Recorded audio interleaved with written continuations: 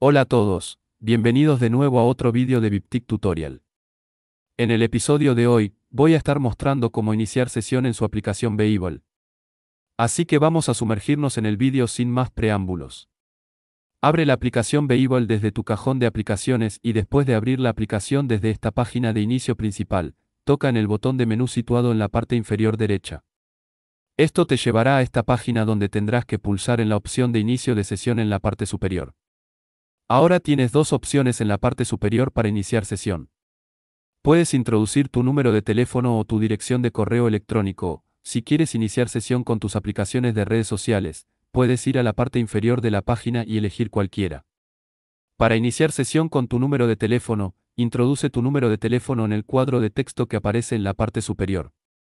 También puedes iniciar sesión utilizando tu correo electrónico, toca en la opción de inicio de sesión por correo electrónico e introduce una dirección de correo electrónico que esté asociada a tu cuenta de Beable. Después de introducir tu correo electrónico, pulsa en el botón siguiente y tendrás que introducir tu contraseña de inicio de sesión. Introduzca la contraseña de inicio de sesión asociada a su cuenta Beable y asegúrese de escribirla correctamente. Por último, pulse el botón siguiente para iniciar sesión en Beable, así es como se puede hacer. Si el vídeo te ha resultado útil, danos un pulgar hacia arriba. No olvides suscribirte a nuestro canal pulsando el botón suscribir. Pulsa también el icono de la campana para no perderte ninguna de nuestras próximas subidas. Nos vemos en el próximo vídeo. Hasta entonces.